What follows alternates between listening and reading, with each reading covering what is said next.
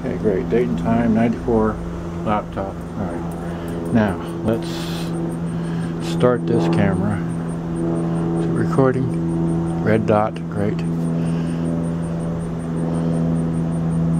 Come on, focus.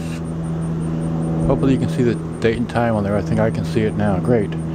Alrighty, so that, and then this one, hey, and then, on, oh, it died. Here, I gotta close the camera here. Let's set the thing down over there. Reset the camera.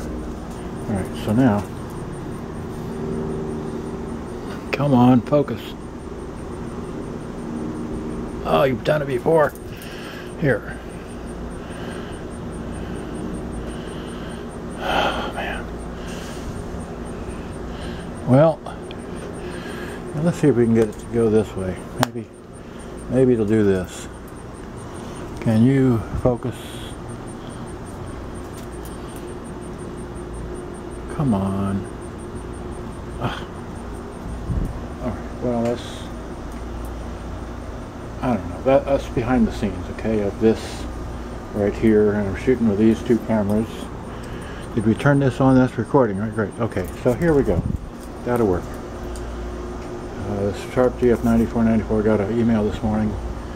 Wants to buy it. Here we go. Good day. Bye-bye.